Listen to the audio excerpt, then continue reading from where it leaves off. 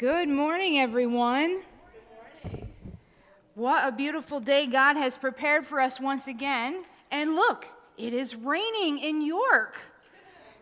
What a nice surprise for us, although a little squishy out there. We've had kind of dryness, and so we're finally getting some rain. Makes it a little difficult to get out and run through the raindrops today, but you know what? We'll take it. We'll take it. It's making everything nice and green out there for us. So it is great to gather with you all in worship here this morning, and we welcome our folks who are joining us via Zoom today. And I would bet there might be a few more than usual. So welcome everyone. We're glad that you are here, however, what, which way you decided to come.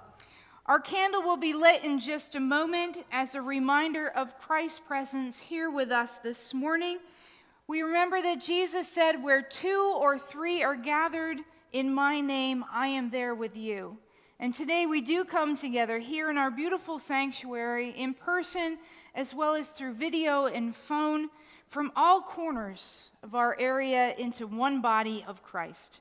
And whenever we do come together, we always hope that this is a time and a place to rest and to encounter God within our midst.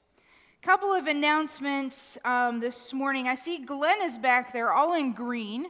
So let's start with Mr. Glenn. You want to come on up here and tell us what the green is for today? I know we started this uh, a couple weeks ago. So what's our green? Remind us, please. Well, this is the continuation of, of course, this week was Creation Week, mm-hmm. Creation Care Week, and just, I'm just kind of reminding people to continue to remain green. We started with Go Green last weekend.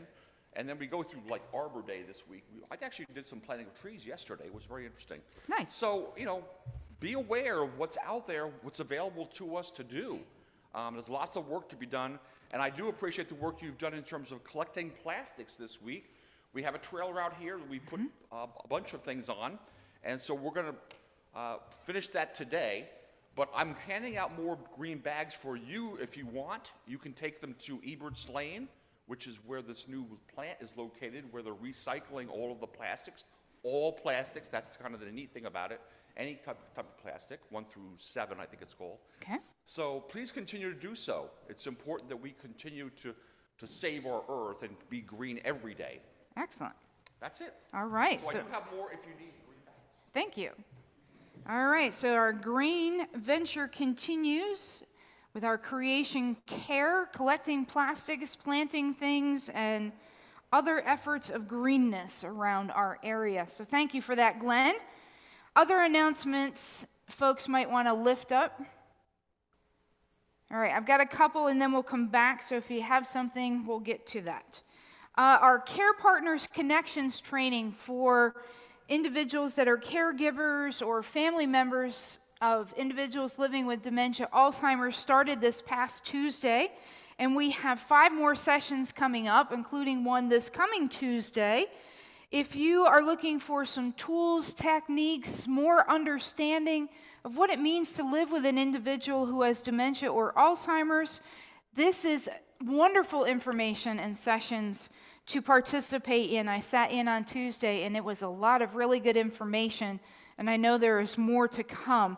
So it is at 2 o'clock this coming Tuesday, and you can sign up. Let us know that you are planning to come. Just contact Dawn in the church office so that we have a little bit of a heads up and can be prepared to welcome you there. So give her a call or a text message. Um, we would appreciate that.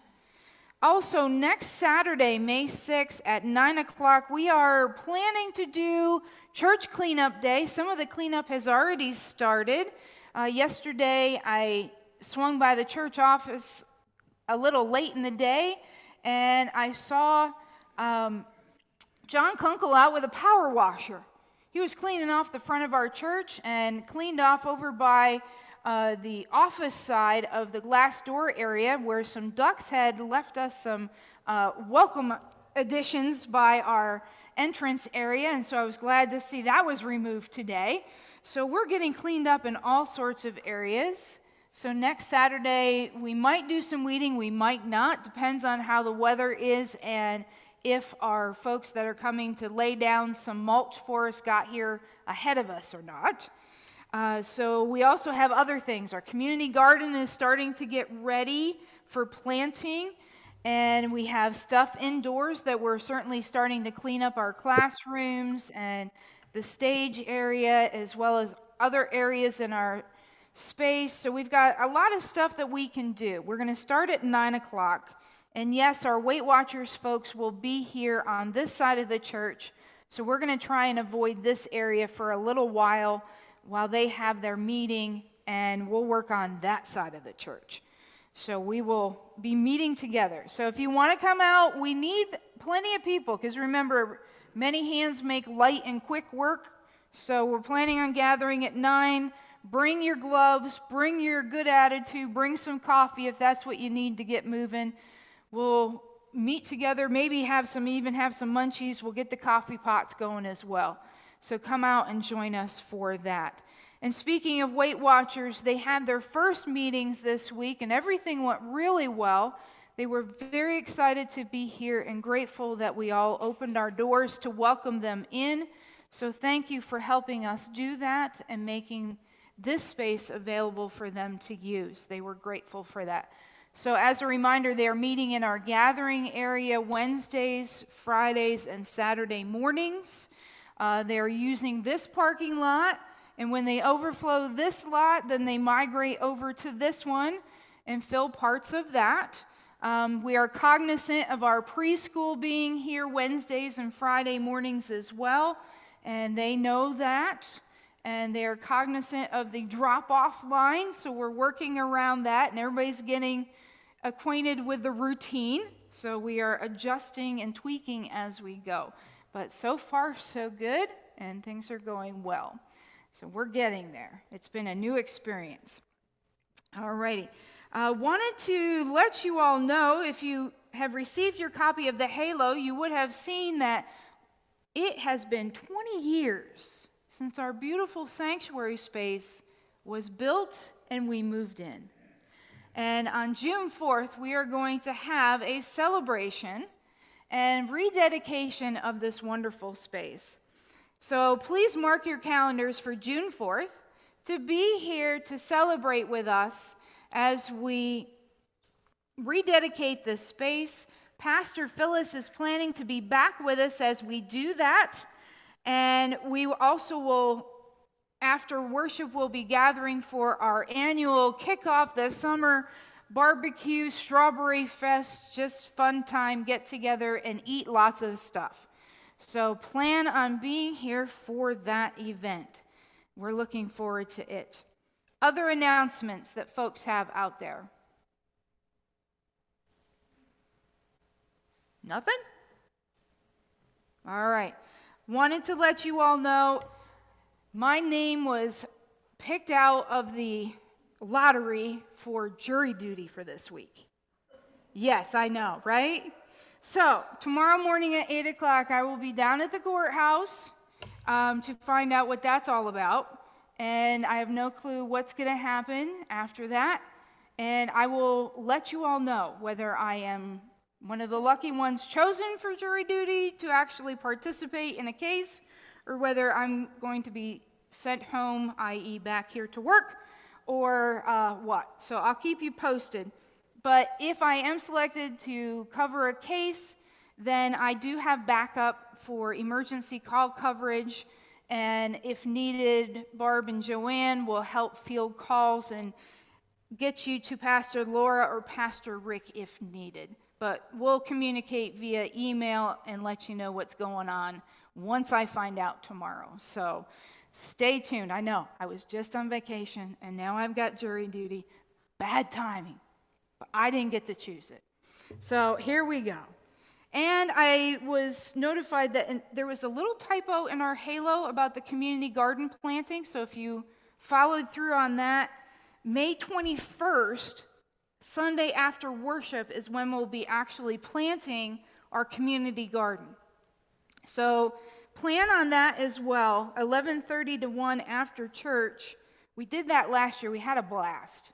Remember, we planted everything, all of the tomatoes and cucumbers and all of the other plants, as well as some, uh, what else did we put in? Marigolds and basil and some other things to help out. So we're going to be doing that again, and then we get to watch our garden grow. And we'll need some folks to help weed as it grows, as well as to harvest once it gets to peak. So plan on all of those fun things. We've got a lot happening here in the next few months, so we look forward to it. So, friends, as we enter into our time of worship together this morning, remember that no matter who you are, where you have come from in the last week, or where you're headed in the week to come, for the next 50 minutes or so, you are home. Let us prepare our hearts and souls for worship together.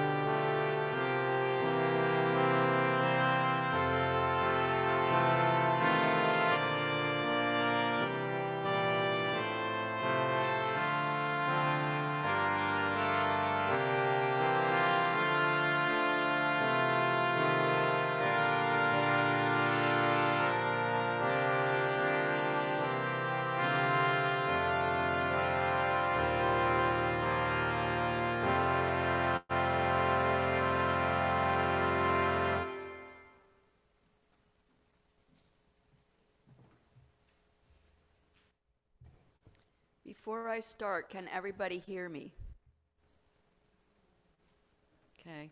I checked a couple things before, since last week we had an issue. A little better?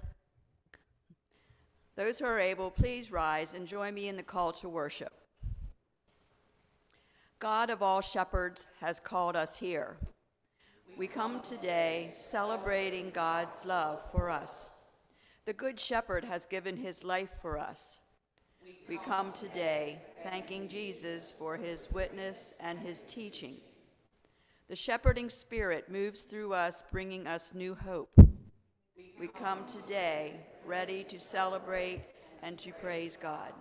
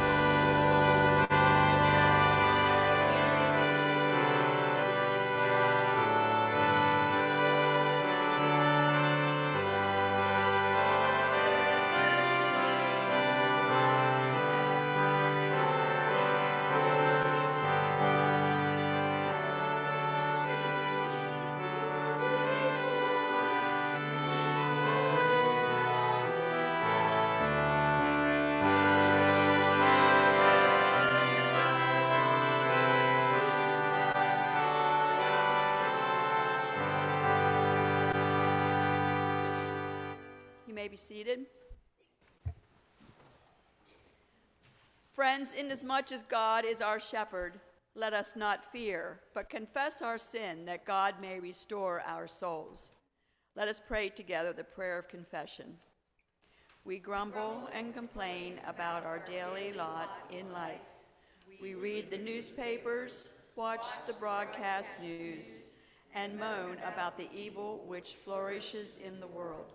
And we wonder, where are you, O God?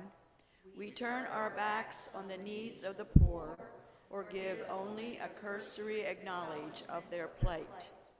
We throw our hands up in the air and act as though we are defeated, and we cry, Why isn't God taking care of all this? Forgive us, patient Lord. Forgive our arrogance, our ignorance, our pettiness. Forgive us when we could have done something to help someone else, but chose instead to turn away. Forgive us when we, by our attitudes and language, our thoughts and actions, have gone against your will. You are with us, Lord. You lead us daily in right paths and offer to us the bread of life. You stand with us in times of trial and in the presence of those whom we fear, giving us your abundant love.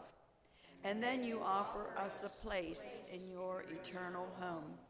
How can we doubt your presence? Help us to trust you. Help us to praise you and remember that you have called us to be your witnesses and workers in the world. Give us strength and courage joy, and peace for all the work that you have for us to do. In the name of Jesus Christ, the Good Shepherd, we pray. Amen.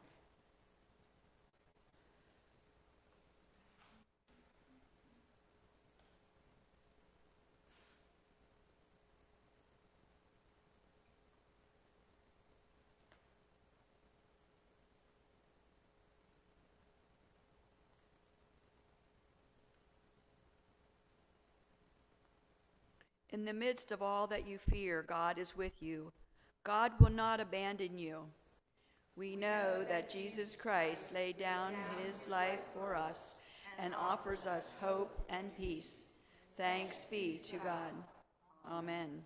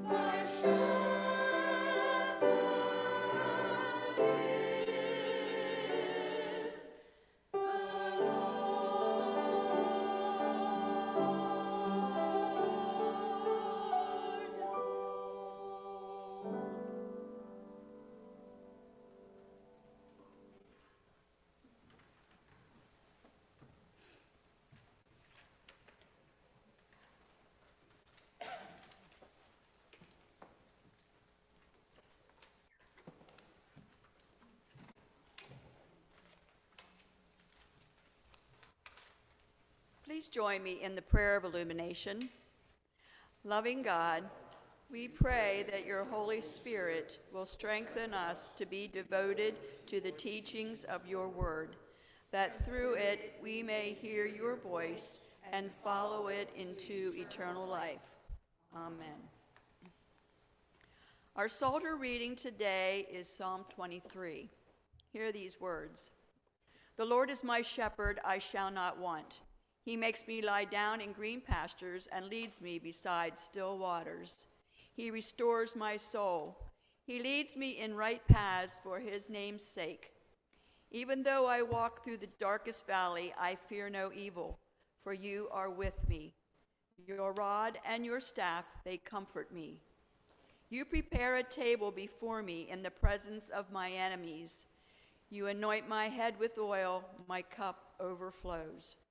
Surely goodness and mercy shall follow me all the days of my life, and I shall dwell in the house of the Lord my whole life long. Our second reading today is from Acts of the Apostles, chapter 2, verses 42 through 47. Hear these words from Acts. They devoted themselves to the apostles' teaching and fellowship, to the breaking of bread and the prayers. All came upon everyone because many wonders and signs were being done through the apostles. All who believed were together and had all things in common. They would sell their possessions and goods and distribute the proceeds to all as any had need. Day by day, as they spent much time together in the temple, they broke bread at home and ate their food with glad and generous hearts, praising God and having the good will of all the people. And day by day, the Lord added to their number those who were being saved. The word of the Lord.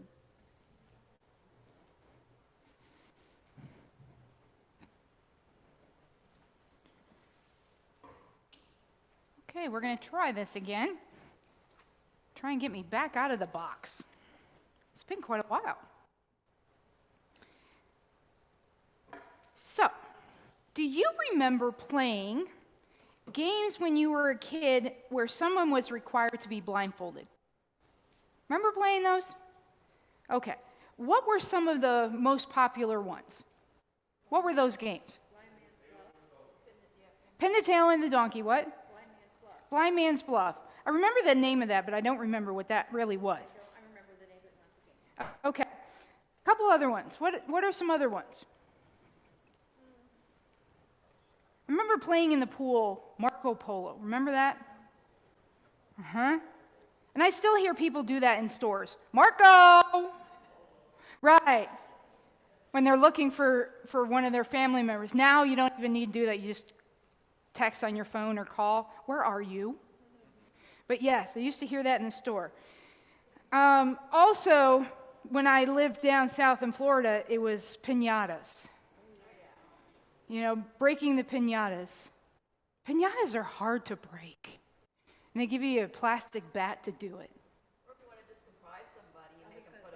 Yes, or if you want to surprise somebody. So, when you used to play those games, did you enjoy them?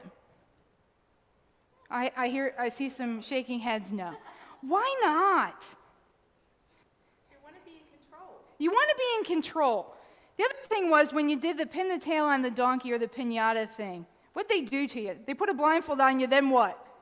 Oh, they spun you around. The blindfold is bad enough, right? That's disorienting enough. And then they spin you around and you're like, okay. So you're dizzy. Everyone laughs at you. You feel vulnerable, don't you?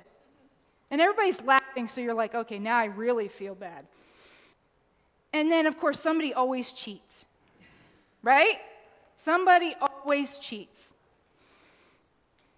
So, everyone says that when you lose one sense, your others become stronger, or you at least focus on them more to help you know where you are, how to recognize things or people, etc., in the world around you.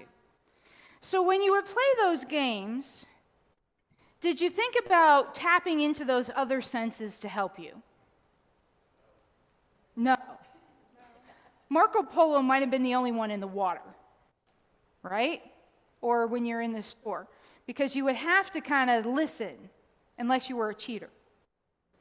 Or the people tried to confuse you when you were blindfolded. So Mm-hmm. Yes, yeah. No, we wouldn't usually tap into those other senses because, you know, as a kid, one, you didn't think about it much. And most of the time, you were so focused on the fun and just wanting to win, right? So we didn't think much about using those other senses. When I was a child, very small, my maternal great grandmother was extremely hard of hearing and had been all of her life. She was actually clinically deaf. And she wore a hearing aid at least all of her adult life. As a poor Irish immigrant, I doubt that they had access to hearing aids when she was a child.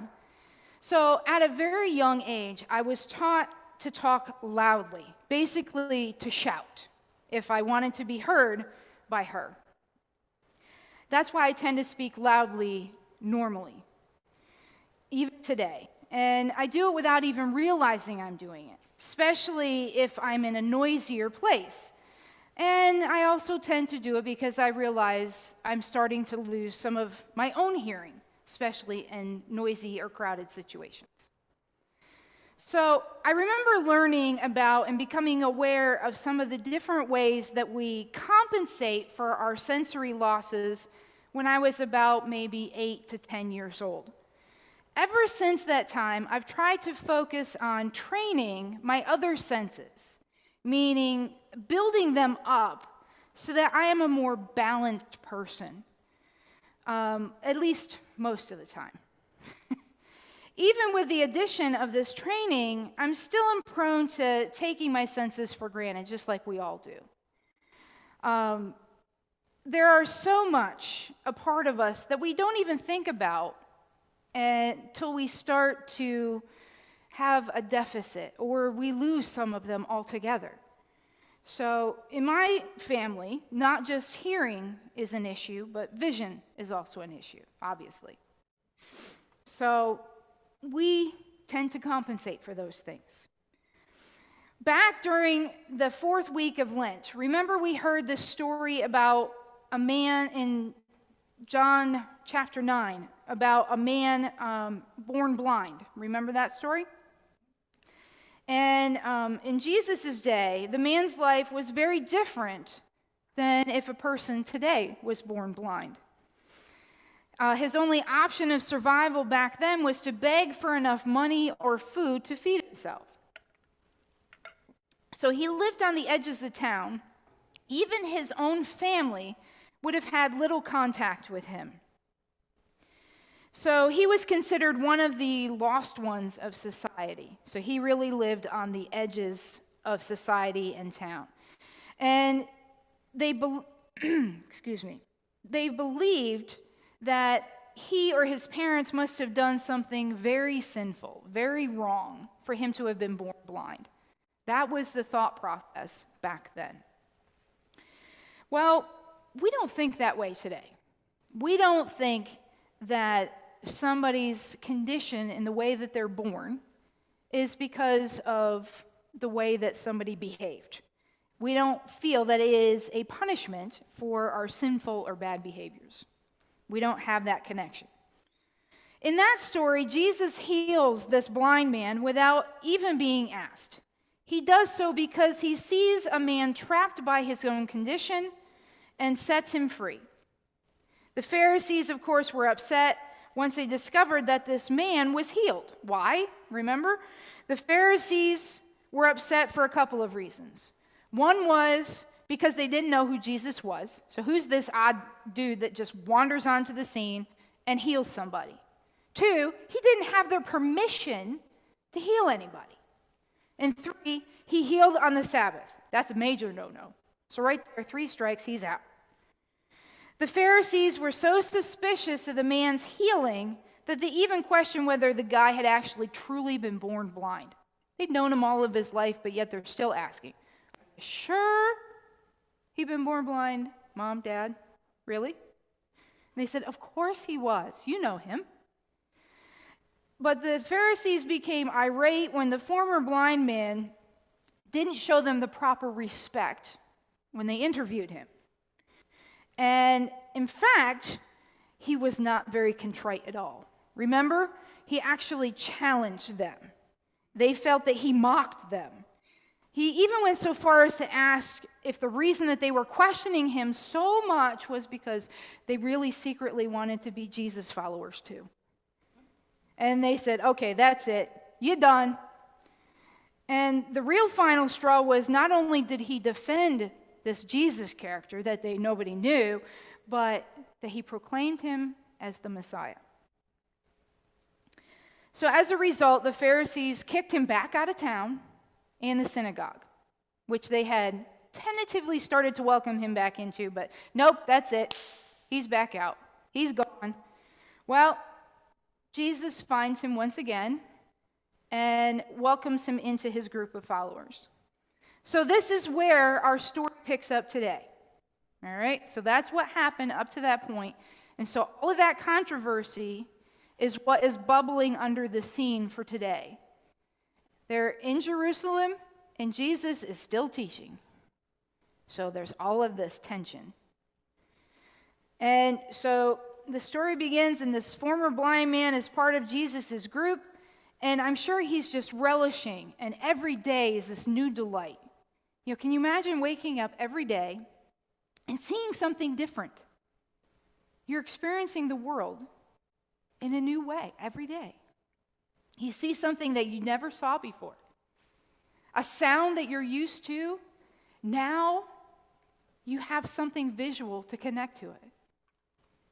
And maybe what sounds really big, like a, a song of a bird, you find out it's this tiny little bird. This big sound is a tiny little bird. So he's relishing his newfound vision. Emotions are still really high between Jesus, his followers, and the Pharisees. But that doesn't stop him from entering Jerusalem regularly to teach and to visit the temple. Nothing like going into the lion's den, right? So today is no different, and Jesus is teaching once again, and he's telling the people the shepherd enters through the gate, and the sheep hear his voice. And the shepherd calls his own sheep by name, and he leads them out. He goes ahead of them, and the sheep will follow him because they know his voice.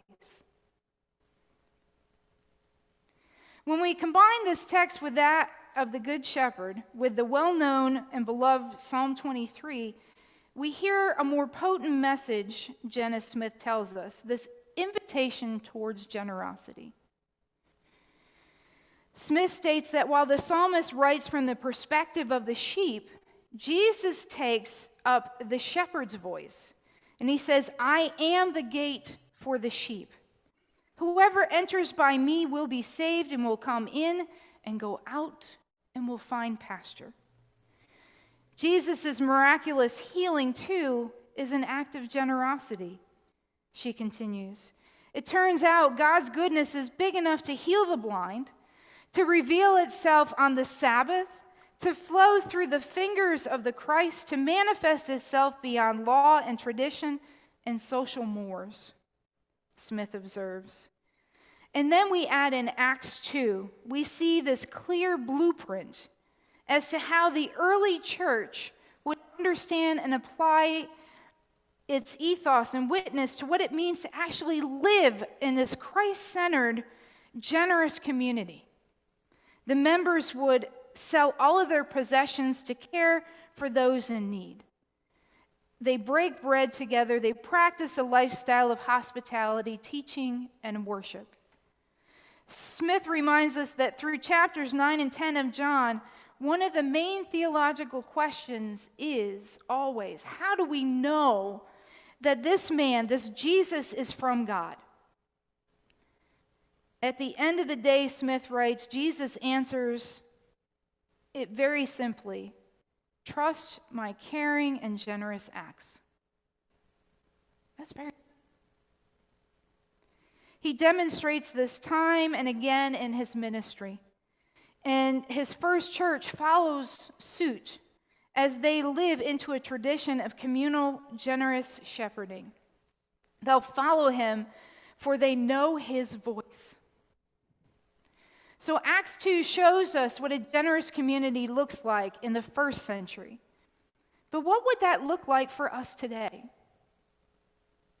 What does a generous community look like today?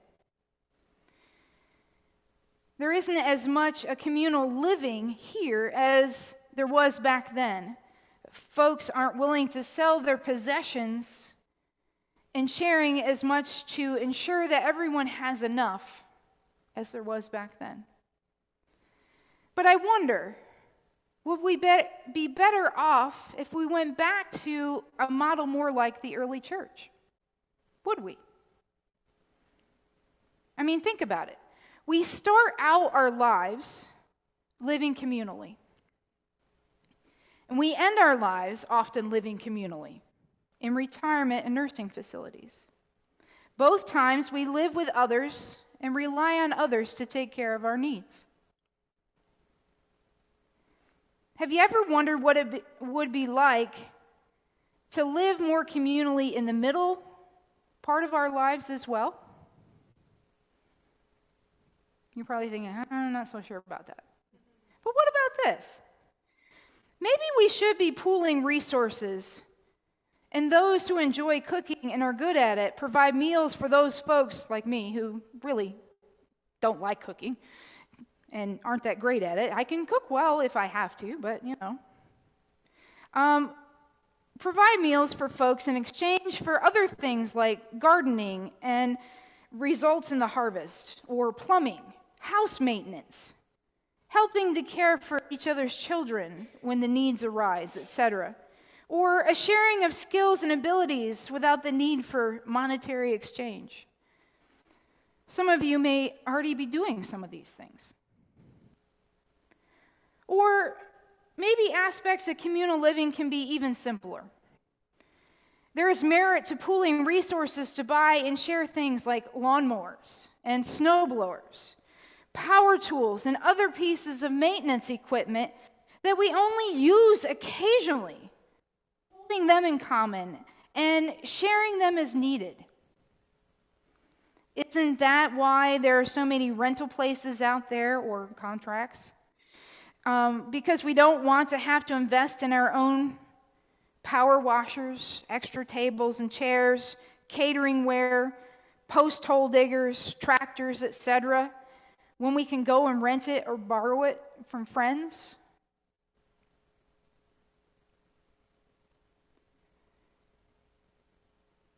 There's merit to communal living.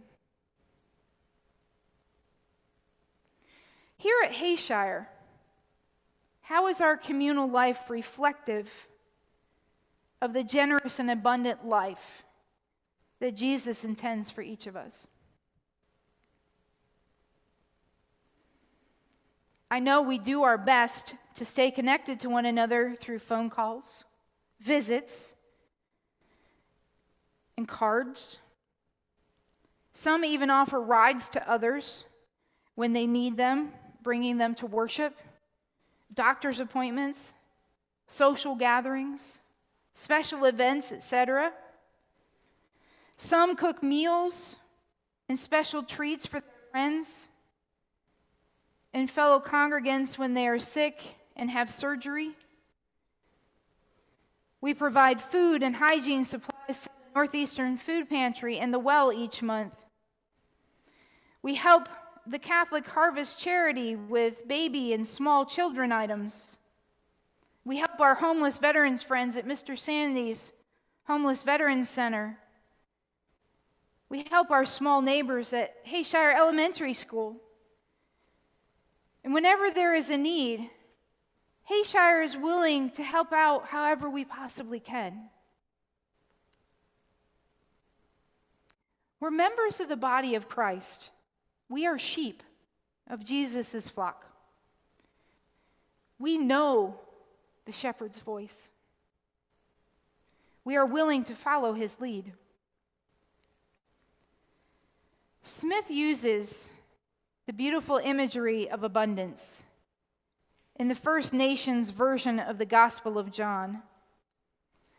I have come to give the good life, a life that overflows with beauty and harmony.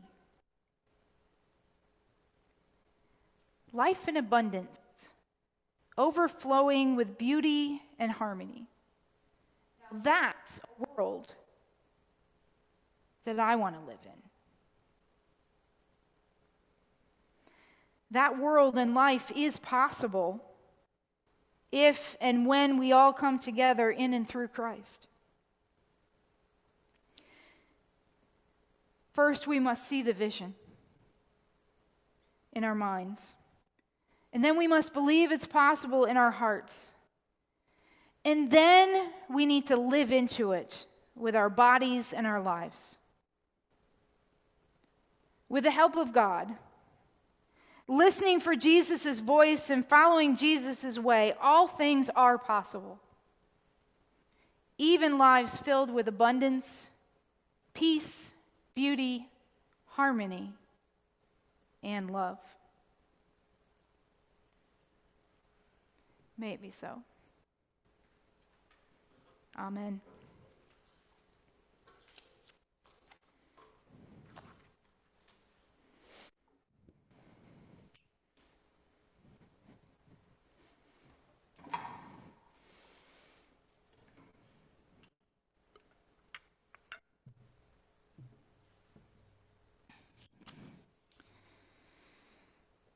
This morning, let us bow our hearts and minds in prayer together. Shepherding God, in a dangerous world, let us hear your voice and come and go through your gate. We pray for the whole church that we may be devoted to your word into the universal fellowship, being generous to all who have need. We pray for the earth, for green pastures and still waters, that we may restore them to the goodness and purity that they had at the time that you created them. We pray for the people of the world their nations and leaders, that their wisdom and peace may govern all, so that no one will fear or be oppressed and suffer needlessly. We pray for all those in need, for those in want, those ill, and those dying, that we may be the banquet that you set before them as we anoint them, feed them, heal and comfort them in your name. We pray for ourselves, our families, and those we love. May no one live in fear. May all dwell in your loving presence. Blessed are you, great shepherd, who through Jesus Christ and the Holy Spirit give us goodness and mercy. Lead us down right paths and restore our souls. Together we lift our voices in deep and humble gratitude, saying the words that you taught us Our Father, who art in heaven, hallowed be thy name. Thy kingdom come, thy will be done, on earth as it is in heaven. Give us this day our daily bread, and forgive us our debts, as we forgive our debtors. And lead us not into temptation, but deliver us from evil. For thine is the kingdom, and the power, and the glory forever. Amen.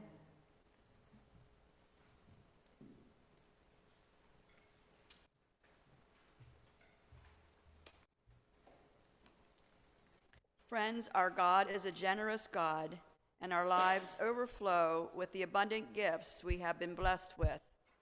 We give from this abundance so that others may come to live in and know God's generous love.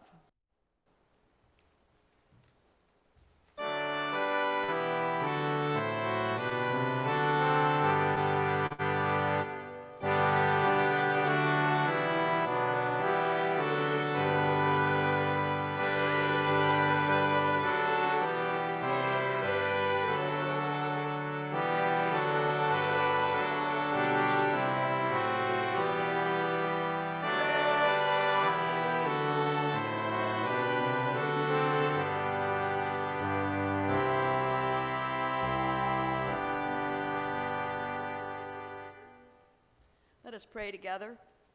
Holy One, touch us with the awe that came upon those early disciples as they beheld the signs and wonders performed in their midst by the apostles. May the gifts we offer this day be a remembrance of their commitment to share all things in common. In Jesus' name we pray. Amen.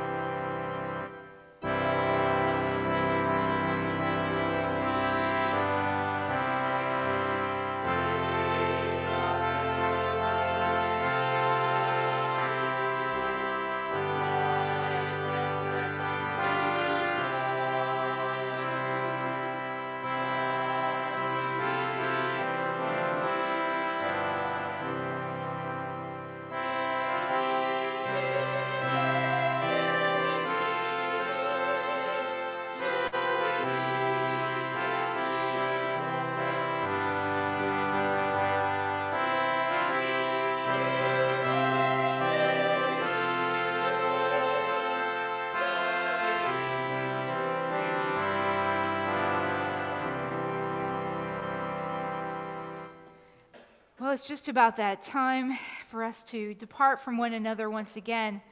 But as we do, we receive this blessing.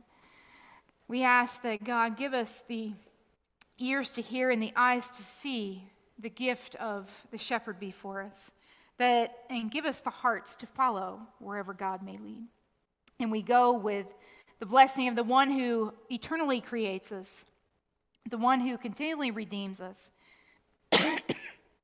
excuse me, and the one who always walks beside us. Amen.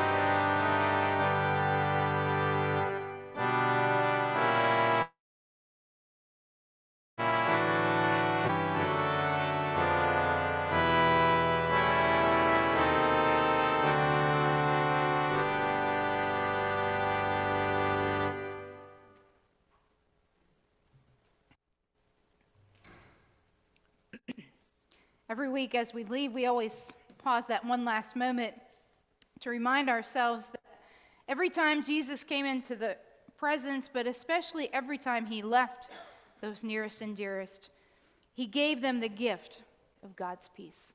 So, my friends, may the peace of Christ be with each of you. And also with you. Go in peace, have a blessed week, and I will see you soon. Take care, everybody. Careful out there in the rain today.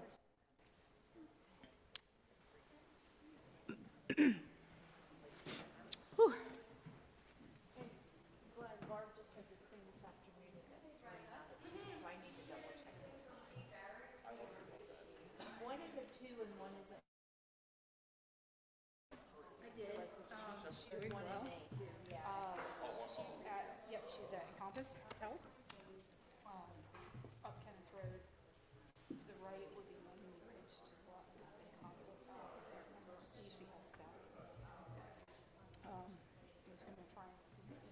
see if my voice